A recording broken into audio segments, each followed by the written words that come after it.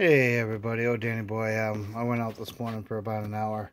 I'm feeling down and out. Um, I was getting dizzy every time I got down and stood back up again. Um, but I managed to get a bunch of trash. I don't even know if there's any lube in there or not. But uh, it's uh, slide grease for a Yamaha. Oh, if there is, I might be able to use it. I don't know. But anyways, that's that. And uh, let me tell you, it was a charming day, and uh, that's why I dug plenty of charms. It, it, was crazy with all the charms that were dug. I mean, I got one, two, one, an earring, two, three, a little, little kitty cat, heart, uh, reindeer, something with like black gems in it.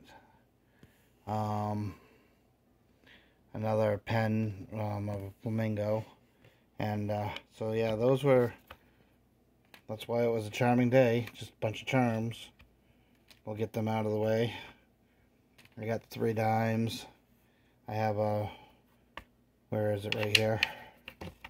It is uh, one penny, about the size of a nickel. I got 17, 18 pennies. Found a dollar bill. Um, I walked over it and then I turned around there it was on the ground. So there's a dollar bill. I got 50 cents and another dollar, so a dollar 15 quarters. Um, a Canadian nickel. 2020. I mean 2002. Yep. Queen Elizabeth. God rest her soul. Like I said, I'm just feeling down and out. But, uh, 50 cents, so a buck 50, and I got two nickels, three dimes,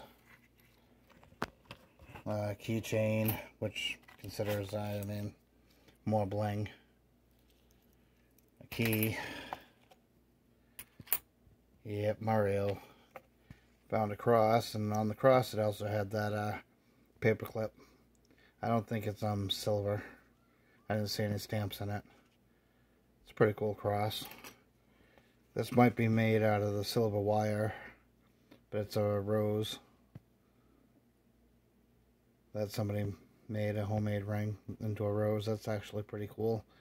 And like I said, this could be the silver wire that they use um, in the arts craft and then a bling ring.